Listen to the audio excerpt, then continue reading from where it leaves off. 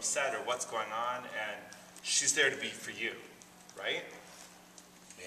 But you kind of somewhere know that that's maybe not a real nice thing because you don't want Tiffany to see you acting like a jerk, right? So it's like the company face comes out when she comes in the room. So think about a split personality kind of thing. So like I change my voice, like Yeah, you can change your voice, you can change your attitude, you can be like, where is she with her? Oh, Tiffany, oh, okay. right? And it doesn't have, I mean, like, I just sort of did it a little cheesy, like, you know, but have that difference be there. And it just has to be this really intense. And I know that it's uncomfortable because you're a nice guy and you don't want to be screaming up in a young lady's face. Um, and so when it's uncomfortable, we tend to make it a little bit funny, but it's not funny. Okay?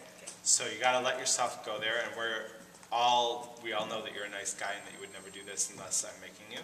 So I'm making you now. Okay. Okay? Everyone heard that. I'm making him be a jerk. Okay.